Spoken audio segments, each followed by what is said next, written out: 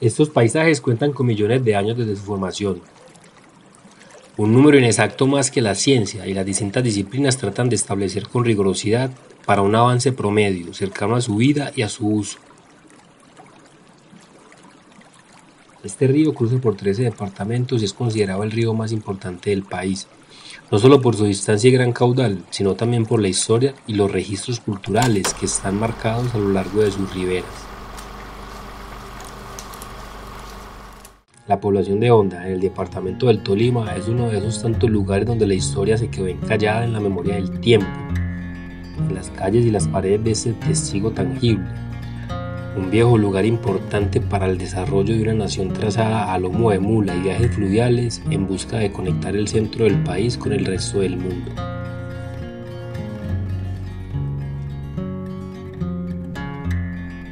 En esta ciudad hay un lugar que se encarga de quedar en la memoria para procurar que su recuerdo no se borre y se mantenga fresco. Esta tarea estaba a cargo de Germán Ferro, director y curador del Museo del Río Magdalena. Entonces tenemos este, esta cuenca del río Magdalena, pero aquí resaltado está el río Magdalena que atraviesa toda Colombia sur-norte. Eso ya nos invita a pensar que estamos sobre un hecho muy interesante de carácter geográfico, territorial, de poblamiento. Se convierte en un eje que, nace el río en la frontera entre Huila y Cauca y desciende en el mapa, ¿cierto? Pero está bajando en condiciones de río. Eso sí que es importante y básico y cualquier persona habitante del río lo, lo sabe, ¿no?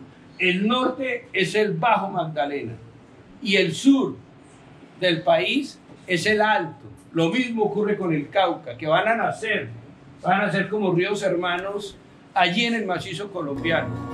Escuchar a Germán Ferro hablar sobre el río Magdalena es una dicha que solo se vive en este viejo establo, lugar que el tiempo transformó y que hoy hace culto a la memoria del conocimiento sobre el río que le dio la forma a esta patria. Visitar el Museo del Río Magdalena es sumergirse a navegar por un viaje de historias y momentos que nos remiten a un pasado cercano y que nos ayudan a comprender los cimientos de la cultura y la vida social de nuestro lugar actual en el mundo. Este museo se encuentra dotado de gran material gráfico y vestigios que nos van relatando la historia del tiempo presente, cómo era la conexión y los intercambios para poder figurar en los mapas oficiales que representan una contribución importante para el avance de la sociedad. Cuáles fueron los medios por los cuales llegaron hasta el centro del país. Fotografías con los rostros de los encargados de mover los grandes barcos a vapor y registros de las compañías fluviales que navegaban por el río hasta su desembocadura en el Mar Caribe. Estos son algunos de los recuerdos que hace perdurar este museo en la memoria de sus visitantes. Honda creció a la margen del comercio que entraba por Cartagena. Funcionó durante tres siglos como el único canal para llegar a Bogotá.